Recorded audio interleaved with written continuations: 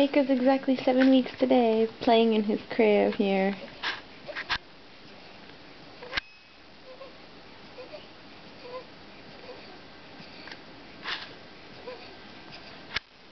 And playing in this, in the living room.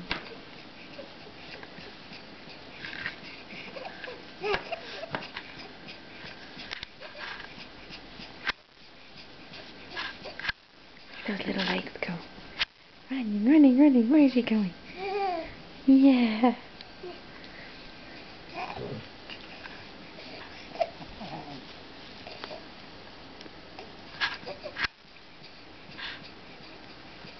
Bye-bye.